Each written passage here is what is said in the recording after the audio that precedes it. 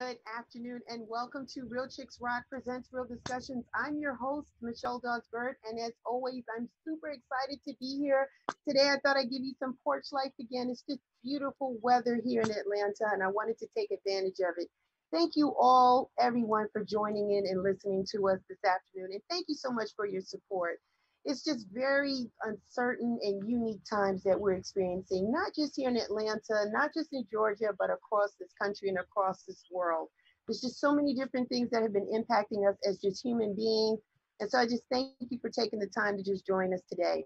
We want everyone to remain safe. We hope that you are. We hope that you're practicing shelter in place if you can. I know that we are slowly trying to get things back to normal, but there are some cities and some states that are observing some curfews due to some rest and rioting that's going on. We here in Atlanta, we've been doing our protesting, but it has been peaceful, and I think things are going to be are going to turn out okay. So we're just going to keep watching the news and supporting the people that are on the front lines and our essential workers that are doing everything that they can to make sure that we get the products we need each and every day. For everybody that's the first time listening and checking us out, we want to say thank you for joining us. Little background about what we are. We're all about collaborating and empowering women in what we do. And if we do it through the arts, we do it through community service, and we do it through our mentoring and public speaking. And so Real Chicks Rock is all about the embodiment and empowering women and doing things to help level the playing field and giving women the tools that they need to be able to be strategic in this world that's constantly changing. Uh, today, my guest is someone that I've had on the show previously before. I have a lot of respect for what she does and who she is and what she has done within Fulton County government. It's a very busy time here as it is uh, political season, it's voting season. A lot of people have submitted their early absentee voting. Um, people are waiting to go to the polls on Tuesday, June 9th. And so it's a lot of excitement in the air. We're going to use our vote. We're going to use our power in voting. We're going to activate that, that power on Tuesday. And someone that is going to be on the ballot is my guest, none other than Commissioner Natalie Hall for Fulton County District 4. Hi, Commissioner. How are you? Hello, Michelle. How are you? I'm wonderful. Thank you for joining me. I know you are super busy you're always busy, but I know it's a very critical time for you. First of all, let me ask you, how are you doing, Commissioner? How are you feeling? How are you doing? Uh, I'm doing just fine. I'm running on just pure energy. I'm just, um, I'm out here trying to serve the people, especially during this COVID-19 pandemic, and uh, just doing the work uh, that a commissioner is supposed to be doing. Uh, yeah, you have been commissioner. We want to say thank you. I want to ask you, how has District 4 been responding to the pandemic? How have the people been responding and holding up? Well, our seniors have been sheltering in place um, because, you know, they are the most vulnerable population. And um, it has been kind of hard for them above and beyond any other group or any other part of the population of District 4 because they rely heavily on our senior services at Fulton County where they get free transportation. They can ride Uber and Lyft for a dollar each way from and to their home. And um, they get to go to our senior centers and have a lot of fun. We have a lot of classes there, jewelry making, dance, computer classes, and, and so much more. And they get to eat breakfast and lunch. But since the pandemic, Fulton County has closed those senior centers, and the majority of our buildings have been closed ever since March. And so our constituents who are used to using our services have not had access to them the way that they are normally used to. So my team and I have actually gone out and delivered care packages to the seniors where they live in the apartment complexes, senior assisted living, and high rises. And those care packages provided them with essentials that they needed, like gloves and uh, hand sanitizer, toilet paper, things like that, early on. And since then, we have delivered fresh fruit, uh, fruits and vegetables, and anything else that we think they need. You guys have been extremely busy during this time, even though I, I know you mentioned that the, the county, the government county offices have been closed, but your team has been boots to the ground, wearing their masks, having gloves on, out connecting with the people giving them what they need, the resources that they need with your leaderships. I want to say thank you for doing that because you've always had a passion and a heart for the people. And now I think we're seeing it even more. We've seen it before, Commissioner Hall, but you are really like operating at 110%. And I want to say thank you for what you're doing. Oh, thank you for that. You know, being a public servant is sometimes uh, a thankless job, but I don't do it to get any thanks or praise. I do it because it's the right thing to do. And I was always um, told that you're blessed to be a blessing to others, and your blessings do not just belong to yourself. And I really believe that. And you operate in that way too, Commissioner. I wanted to take just one step back. I was so excited to have you and get going in the conversation. I do have new listeners, and there are probably people who are not familiar with the government structure. So, if mm-hmm. you could just share a little bit about your background and what your responsibilities are for Fulton County District 4, that'd be great. All right. So, a county commissioner is um, is there to pass legislation, of course, but we also pass over a 1.1 billion dollar budget that supports all of our county departments, including our constitutional officers departments like the Solicitor General, the DA, the Public Defender, the judges of Superior Magistrate Court and uh, State Court. And we have a lot of departments like our Health uh, Board of Health Department, our um, our um, Community Development Department, our Behavioral and Developmental Disabilities Department, um, we arts and culture there are just so many things that the county does. And it's just you know showing how the taxpayers dollars are being used to serve the people of the county. Um, we also passed the budget for those constitutional officers who uphold our court system. Um, and there's just so much more that we do. Awesome. So um, commissioner hall have you been able to work. I know you work. You're you're one that likes to collaborate with other commissioners. Have the other commissioners in district in the other districts have you guys been able to work together more closely during this pandemic season? Oh yes absolutely. Um, on a consistent basis my colleagues commissioner joe carn and commissioner marvin arrington jr and commissioner liz hausmann have consistently been um, supportive and creating resolutions together and sponsoring, co-sponsoring each other's resolutions and um, just to make sure that we're covering everything that our constituents need, especially during this COVID-19 pandemic. So, but even before we did work together, and uh, but I I expand beyond that because my district is unique because it's entirely inside of the city of Atlanta, so I have over a dozen Atlanta City Council members whose districts are inside of my district, as well as several Atlanta public school reps, um, two senators, the congressman, Congressman Lewis, and um, so there are a lot of elected officials from other jurisdictions that have districts inside of my district, and I work with all of them. Mm-hmm. So because you're out, uh, Commissioner Hall, working so closely with the people and working with other members, uh, not only in Atlanta, but in other districts, was there any concerns that you heard from the people? Was there anything that was resonating no matter where you were? Was there any concerns that people are having during this time that you heard? Elections. Yeah. That is the number one biggest concern right now is the elections because you know, because of COVID 19, the absentee ballot became prevalent as far as what people needed to use to vote because right. we were thinking that people were not going to be able to go to the polls. We didn't know how this was going to play out with COVID 19 and the spread of it. So the absentee ballot request forms were sent to all voters, and everyone sent them back requesting the absentee ballot be sent to them.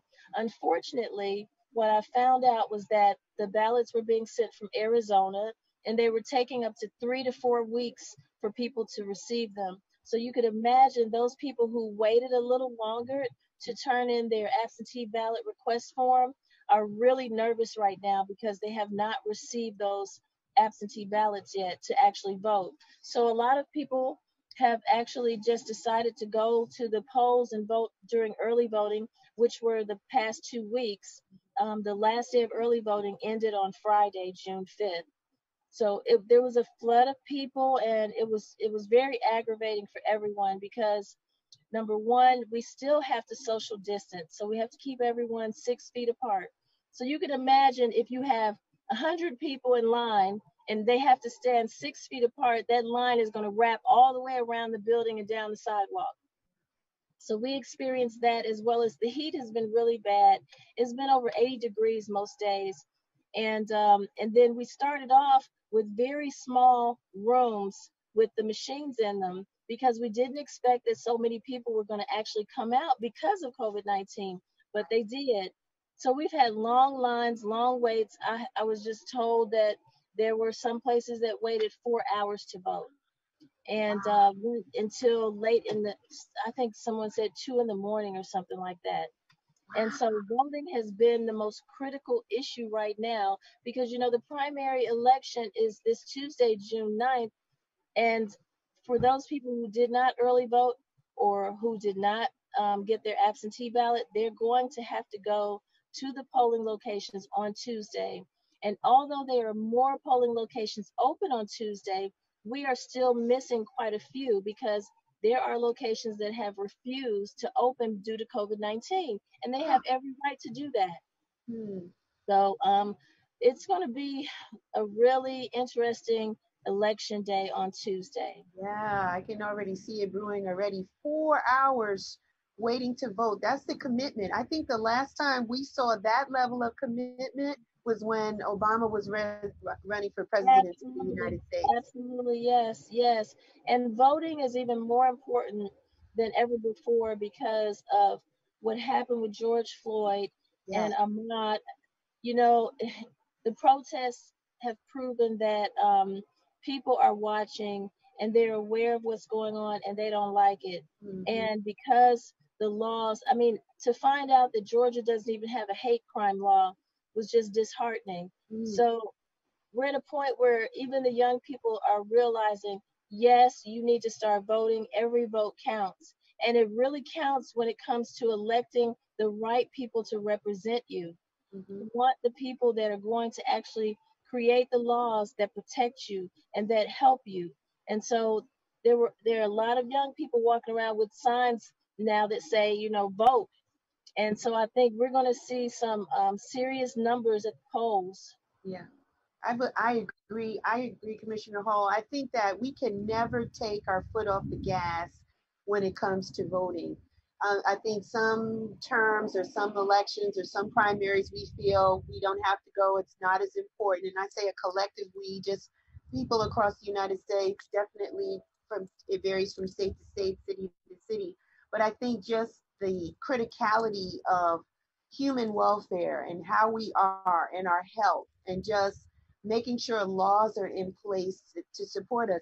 I really believe it's just a personal belief, Commissioner Hall, that yes, this pandemic, this COVID 19 pandemic was something that we did not want.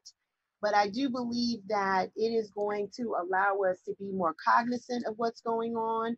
I believe that change is going to happen at a community level. That's why I think Tuesday, this Tuesday, June 9th, is extremely important for people to go out and vote, to cast their vote and not wait for another time or not wait for just for the presidential election, but to you have an opportunity to vote at your local level, you need to get out there and vote. So I'm asking everybody to do that and I know that they will. I wanted to ask you, Commissioner Hall, do you I know we're still in the midst of the changing of times, right? Yeah. And so I wanted to get your viewpoint. Do you have any feeling as to what you think the new normal might be for your district?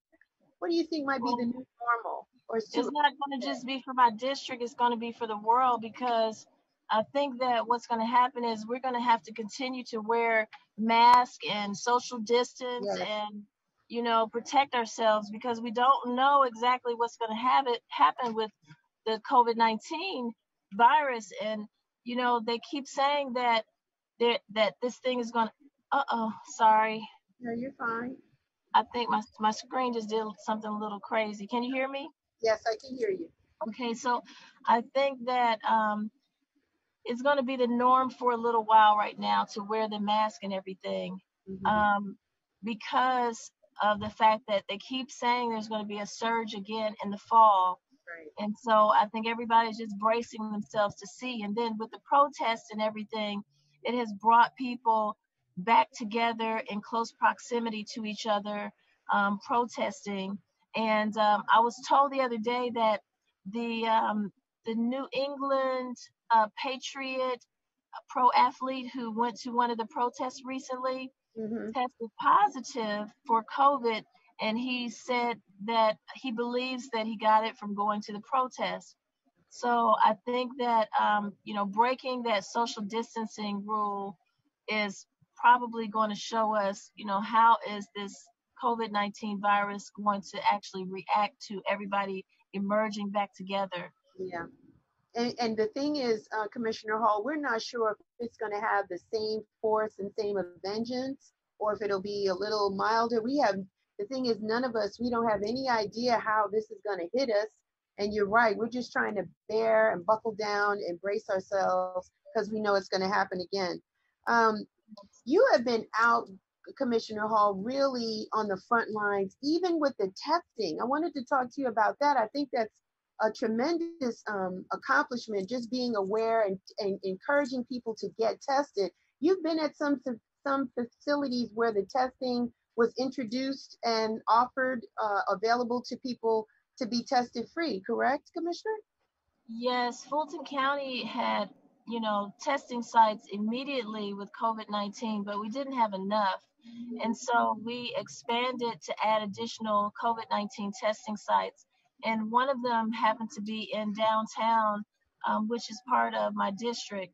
My chief of staff and I went by to see the actual testing site once it was set up and to literally experience it so that we could also be able to speak to how it goes, how the process is, what it feels like, and everything.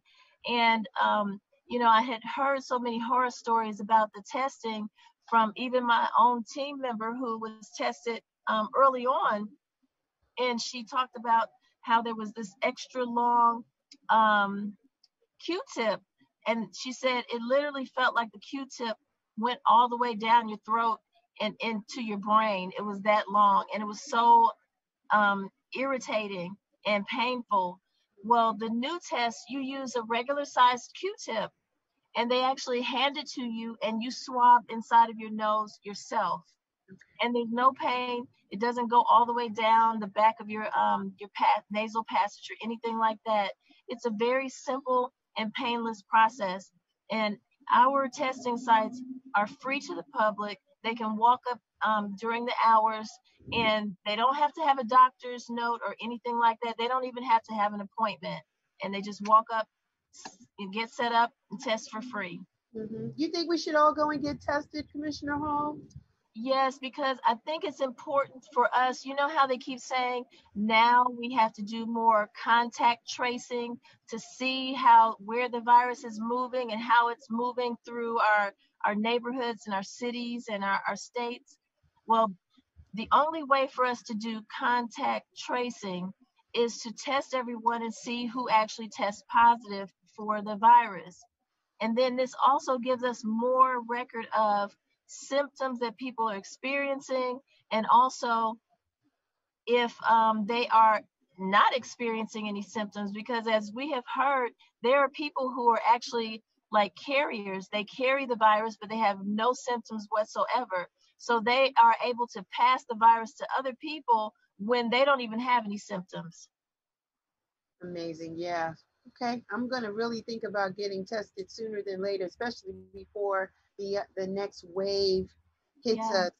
Um, Commissioner, I want to talk about the fact that you are running for reelection for District 4. As the existing commissioner, please share with us, if you mind, if you don't mind, some of your accomplishments that you've done while you've been in office, while you've been in the position.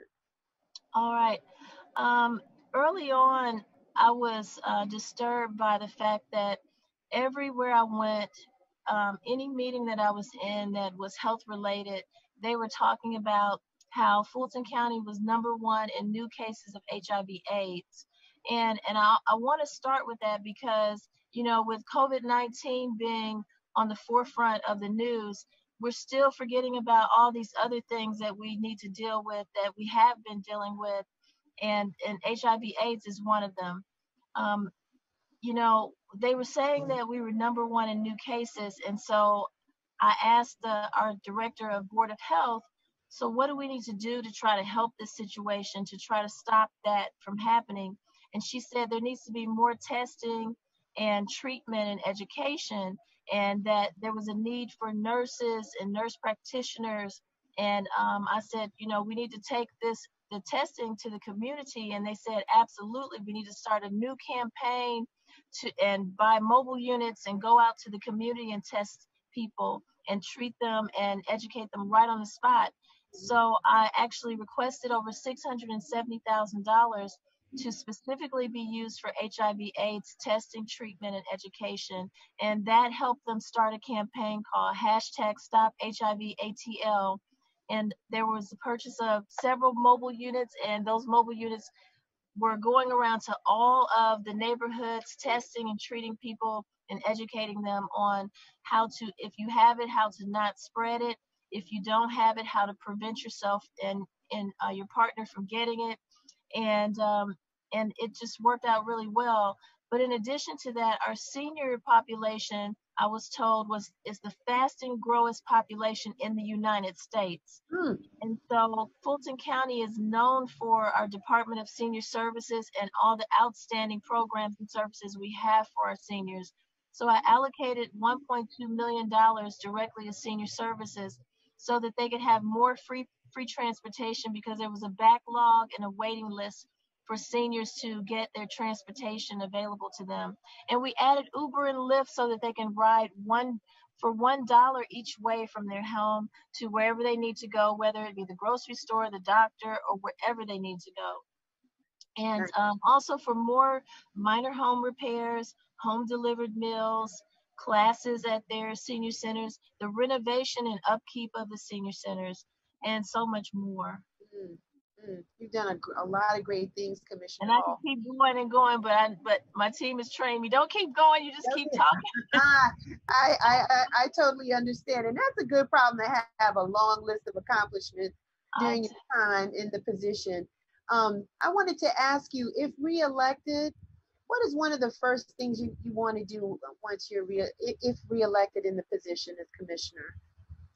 Um, well, I have a lot of things that are already going on that I will just continue. It's not like I stopped working just to run. I'm still working as the commissioner as I run for reelection. So it's not a matter of what am I going to start doing once I'm elected. It's, you know, I have a pre arrest diversion task force that um, we were not able to meet because of COVID 19 because it's so many people, probably at least over 50 people who attend from Atlanta Police Department, Sheriff's Department, Corrections Department, the judges at Superior Magistrate Court, the Solicitor General, the county manager and his executive team, neighborhood um, association presidents, and so many more people. But we come together because I was contacted by Moki, who is the executive director of the Atlanta Fulton Pre-Arrest Diversion Initiative, and she told me that the numbers were extremely low, that they should be receiving more people into their program off of the streets to be diverted away from jail and into wraparound services to help them become more successful, especially our homeless population that we see growing under the bridges where we see the tent city starting to become a reality around our city. And so we started this task force to, de- to determine what's broken, how do we fix it, and how do we move forward in a better manner to get more people diverted and more people on a pathway to success. A lot of good things going on there, Commissioner. Thank you for that. Um, just so much change and things that are going on. What else would you like to see? What is your hope for Fulton County District 4? What would you like to see for your for, for your district? I would like to see our neighborhoods west of the Mercedes-Benz Stadium redeveloped in a manner that does not displace the seniors and the legacy residents that have lived there for decades. I want to see them have the grocery stores that they need and all the essential types of, of stores and, and businesses that they need so that their communities can be vibrant, just like downtown and just like northeast of the city, Old Fourth Ward, Inman Park, and all those surrounding neighborhoods. I want to see the development done in a better manner that doesn't displace the people. And I know that we can do that. We have a lot of great developers who specifically do affordable housing. And I see them on the west side doing a lot of new developments, buying up some of the old apartment buildings and, and renovating them and reopening them as affordable apartments and housing. And so I really think that this time around, we can really make Atlanta a place for everyone to live. Mm-hmm. It is. Atlanta's a beautiful city.